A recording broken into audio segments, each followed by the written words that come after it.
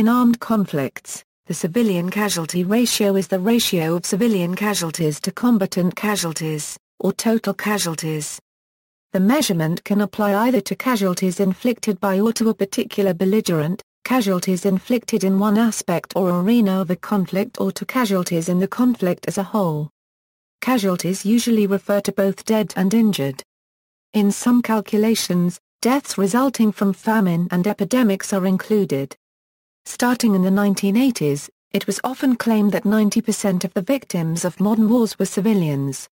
The claim was repeated on Wikipedia's Did You Know on December 14, 2010, and it has been repeated in academic publications as recently as 2014.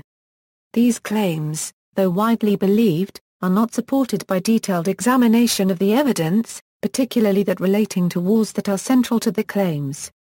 Some of the citations can be traced back to a 1991 monograph from Uppsala University which includes refugees and internally displaced persons as casualties. Other authors cite Ruth Leger Sivard's 1991 monograph in which the author states a Euro OE in the decade of the 1980s, the proportion of civilian deaths jumped to 74% of the total and in 1990 it appears to have been close to 90% a euro. The most comprehensive examination of civilian war deaths throughout history is by William Eckhardt, in which Eckhardt states, on the average, half of the deaths caused by war happened to civilians, only some of whom were killed by famine associated with war. The civilian percentage share of war-related deaths remained at about 50% from century to century. Mexican Revolution Although it is estimated at least 1 million people died in the Mexican Revolution, most died from disease and hunger as an indirect result of the war. Combat deaths are generally agreed to have totaled about 250,000. According to Eckhardt, these included 125,000 civilian deaths and 125,000 military deaths, creating a civilian combatant death ratio of 1 to 1 among combat deaths. World War I Some 9 to 10 million combatants on both sides are estimated to have died during World War I, along with an estimated 6.6 million civilians. The civilian casualty ratio in World War I is therefore approximately 2 3 or 40 percent. Most of the civilian fatalities were due to famine or Spanish flu rather than military action. The relatively low ratio of civilian casualties in this war is due to the fact that the front lines on the main battlefront, the Western Front, were static for most of the war, so that civilians were able to avoid the combat zones. Chemical weapons were widely used by all sides during the conflict and wind frequently carried poison gas into nearby towns where civilians did not have access to gas masks or warning systems. An estimated 100,000 to 260,000 civilian casualties were affected by the use of chemical weapons during the conflict and tens of thousands of more died from the effects of such weapons in the years after the conflict ended. Germany suffered 750,000 civilian dead during and after the war due to famine caused by the Allied blockade. Russia and Turkey suffered civilian casualties in the millions in the Russian Civil War and invasion of Anatolia respectively. World War II According to most sources, World War II was the most lethal war in world history, with some 70 million killed in six years. The civilian-to-combatant fatality ratio in World War II lies somewhere between 3-2 and 2-1, or from 60% to 67%.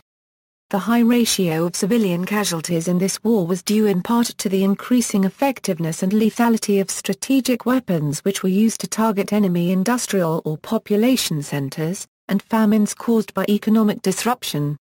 A substantial number of civilians in this war were also deliberately killed by Axis powers as a result of racial policies or ethnic cleansing campaigns. Korean War the median total estimated Korean civilian deaths in the Korean War is 2,730,000. The total estimated North Korea military deaths is 215,000 and the estimated Chinese military deaths is over 400,000. In addition to this the Republic of Korea military deaths is around 138,000 dead and the military deaths for the United Nations side is around 40,000. The estimated Korean War military dead is around 793,000 deaths. The civilian combatant death ratio in the war is approximately 2-1 or 67%.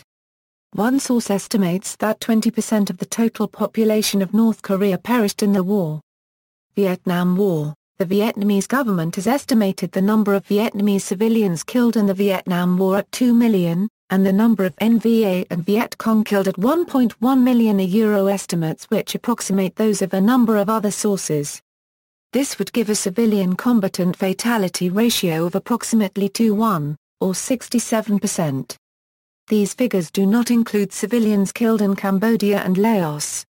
However, the lowest estimate of 411,000 civilians killed during the war would give a civilian combatant fatality ratio of approximately 1-3, or 37%. Using the lowest estimate of Vietnamese military deaths, 400,000, the ratio is about 1-1. Chechen Wars During the First Chechen War, 4,000 separatist fighters and 40,000 civilians are estimated to have died, giving a civilian combatant ratio of 10 to 1. The numbers for the Second Chechen War are 3,000 fighters and 13,000 civilians, for a ratio of 43 to 10. The combined ratio for both wars is 76-10. Casualty numbers for the conflict are notoriously unreliable. The estimates of the civilian casualties during the First Chechen War range from 20,000 to 100,000, with remaining numbers being similarly unreliable. The tactics employed by Russian forces in both wars were heavily criticized by human rights groups, which accused them of indiscriminate bombing and shelling of civilian areas and other crimes. NATO and Yugoslavia In 1999, NATO intervened in the Kosovo War with a bombing campaign against Yugoslav forces, who were alleged to be conducting a campaign of ethnic cleansing. The bombing lasted about two or one-half months, until forcing the withdrawal of the Yugoslav army from Kosovo. Estimates for the number of casualties caused by the bombing vary widely depending on the source. NATO unofficially claimed a toll of 5,000 enemy combatants killed by the bombardment. The Yugoslav government, on the other hand, gave a figure of 638 of his security forces killed in Kosovo. Estimates for the civilian toll are similarly disparate.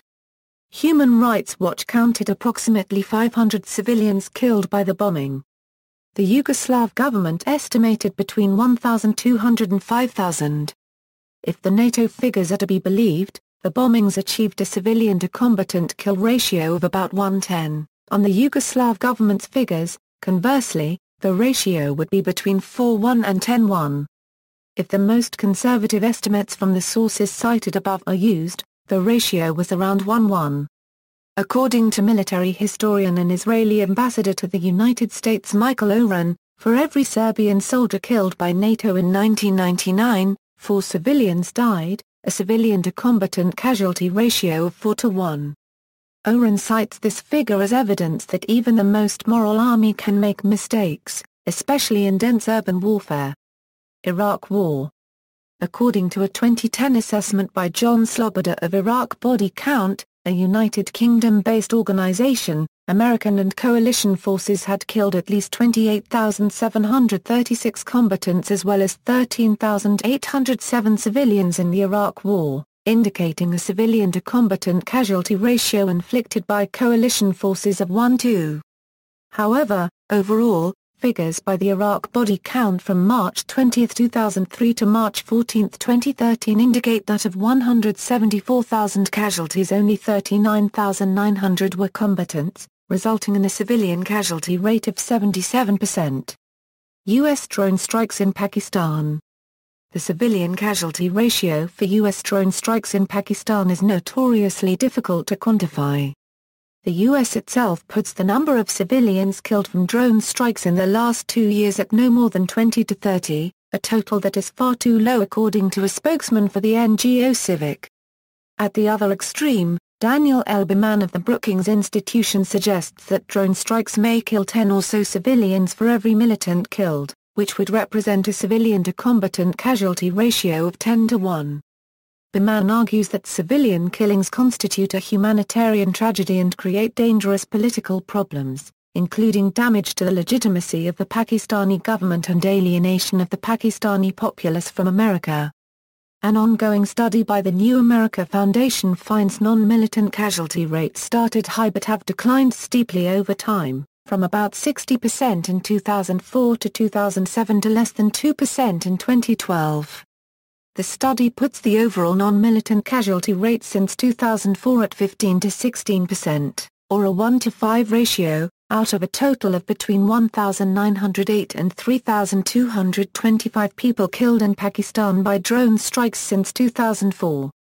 Research published by Reprieve in 2014 suggested that U.S. drone strikes in Yemen and Pakistan have had an unknown person to target casualty ratio of 28 to 1 with one attack in the study having a ratio of 128 to 1 with 13 children being killed. Israeli-Euro-Palestinian conflict, the head of the Shin Bet reported to the Israeli cabinet that of the 810 Palestinians killed in Gaza in 2006 and 2007, 200 were civilians. Haaretz assessed this to be an underestimation of civilian casualties. Using B'Tselem's figures they calculated that 816 Palestinians had been killed in Gaza during the two-year period, 360 of whom were civilians. 1,010 Israelis were killed between September 29, 2000 and January 1, 2005. Of these, 773 were civilians killed in Palestinian attacks, resulting in a ratio of approximately 5-1. According to official statistics from the Ministry of Information in Ramallah, 1,518 Palestinian children were killed by Israeli military forces from the start of the Second Intifada in September 2000 and April 2013. Equals Israeli airstrikes on the Gaza Strip equals, military journalist Amos Harel wrote in Haaretz that the ratio between killed terrorists and civilians was 1-1 in 2002 to 2003, when half the casualties in air assaults on the Gaza Strip were innocent bystander. He attributed this to an Israeli Air Force practice of attacking militants even when they had deliberately located themselves in densely populated areas.